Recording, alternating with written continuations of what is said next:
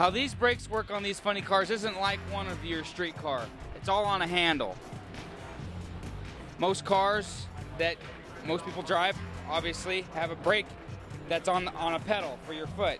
These are all done on a, on a lever.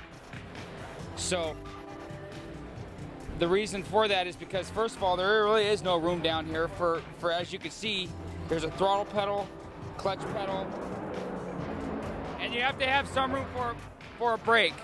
So what we've got here is uh, on this funny car is, is, is a backward pull brake handle. Some are forward push, some are backward. This one is the traditional backward.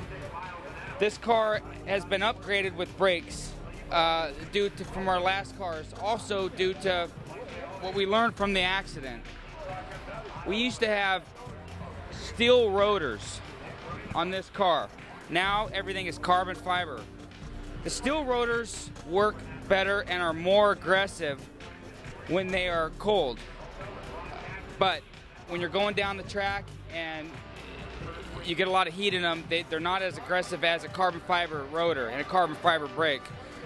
So on the back of this car, which you can't see right now because the rear tires are on, there's actually four calipers back there. And these were upgraded here. These are off of a Pro Stock car. These are the biggest brake that Strange Engineering, who makes all of our brakes, designed for us.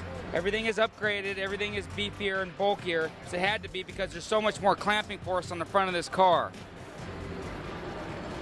These brakes are designed for it gets real hot, when you're going 260 miles an hour, and say you have a chute failure and the parachutes don't come out, the hotter these brakes get, the more aggressive they are. The same brakes that are on airplanes. These brakes will glow cherry red and get very aggressive.